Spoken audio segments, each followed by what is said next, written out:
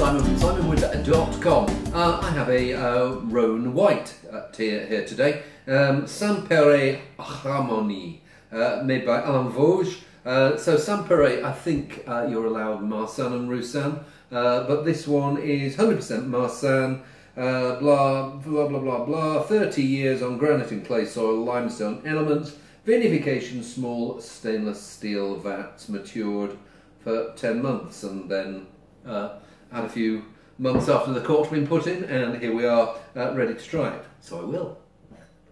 Well, this is an intriguing one. Uh, one of those where um, if you like your wines uh, in your face fruity, well, steer away from this. It's not that it's not fruity, there's uh, uh, something like a, a, peachy character in there, uh, but it's, it's second fiddle to more creamy, nutty notes. You know that uh, is it Greek stuff, halva, uh, where they have uh, almonds and stuff embedded in a nugget, as some people say, or nougat, as other people say. Uh, it's got that character, and there's also um, a slightly salty tang to it. It smells um, uh, it smells enticing, but also smells like one of those things that uh, will be um, a bit of a table divider. There'll be some people going, "Oh, I love that," and other people going, "Oh, not sure." Anyway, it smells pretty good to me. And that saltiness really, really does come through. Um, um, and it, it, it, it's not a, it's not savoury, but there is. It's, it, I could certainly describe it as having a savoury element. Uh, there is that nutty, peachy character, um, and it hangs around in the mouth. It's, it almost feels like it's got a little bit of uh, spritz to it, and it carries on. It carries on. What I, my confusion with a wine like this is what on earth would I want to uh, to to serve alongside it?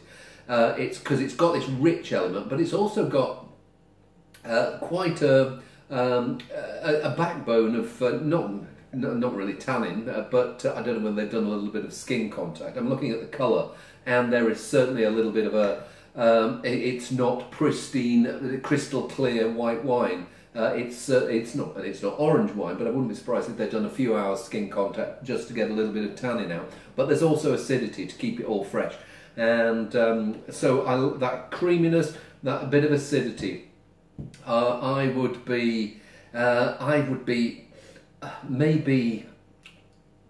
Uh, I'm, I'm, I'm, I'm thinking of I, I, I think of duck confit a lot, but I, I think of something like this would actually be rather nice with that. Or one of those slightly sweaty cheeses, um, a bit of Munster, a bit of um, Gouda, um, but it smells it smells good and it drinks good. So um, I'll be interested to see how this go down goes down with uh, other members of the household. I have a feeling that uh, I have no idea how it will go down.